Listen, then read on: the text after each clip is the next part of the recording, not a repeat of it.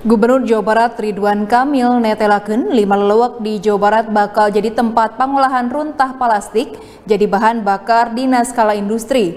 Ridwan Kamil nargetkan pembangunan eta lokasi teh di Paju dina tengah tahun 2020. Dua lelewak anu dicindekeun saya gapikeun ngokolakeun runtah plastik nyata Sari Mukti jeung Bogor. Dinararaga nyorang rukun gawe jeung investor, Gubernur Jawa Barat Ridwan Kamil netelakeun pihakna bakal ngamekarkeun potensi runtah plastik jadi bahan bakar di skala industri.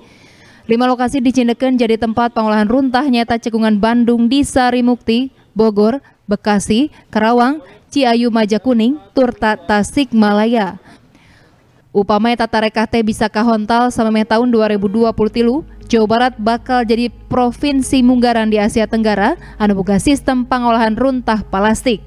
Nah, e, dari lima lokasi itu, salah satu yang di Bogor, itu nanti kemungkinan lokasinya di Galuga, yaitu existing sekarang. Jadi Bogor punya dua sistem pengelolaan sampah.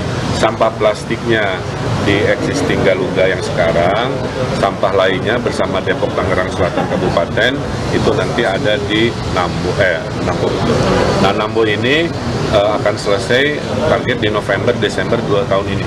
Jadi akhir tahun kita punya waste to energy pertama yang mengubah sampah dari uh, municipal waste kota menjadi yang uh, pengganti batu bara atau RDF itu. Liantik itu Ridwan Gamil ngembuhan TPP AS Legok Nangka dina hambalan finalisasi lelang. Diri nage nandeskeun dina minggu-minggu ayeuna bakal medal surat penyertaan modal di Kementerian Keuangan pikeun sagancangna di proses lelang. Tempat pengolahan runtah lianti di Legok Nangka oge dipibutuh lantaran dumasar kena studi anu dilakonan ku ITB Legok Nangka ukur bisa ngolah satengah natina runtah anu ayah. Kukituna sari mukti kudu tetap difungsikan tapi diwegan ku sistem anu beda nyaeta waste to energy.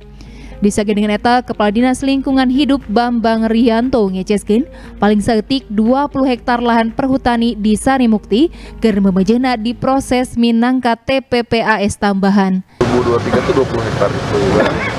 Itu uh, Bapak Gubernur tadi hmm, mendapat, mendapatkan masukan seperti tadi bahwa menuntaskan sampah Bandung Raya itu nggak mungkin hanya legok nangka saja. Dan dari bukti nanti ditutup itu nggak mungkin. Makanya tadi muncullah gagasan seperti tadi dari Pak Gubernur. Nah, tapi tentunya kan kalau misalnya ya, mau menggunakan hari bukti ya kita harus memproses lagi ya. Memproses lagi untuk uh, kepanjangan uh, ke ke kayak kota ke Tani gitu dan tentunya yang tidak memerlukan lahan yang luas kalau seperti yang sekarang landfill kan pasti luas Jumlah runtah plastik anu bakal diolah di Bogor jeng Bandung Raya ngahontal 50 ribu ton per tahun. Hari jumlah investasi kersaban lokasi ngahontal 750 miliar rupiah. Budi Hartati, Bandung TV.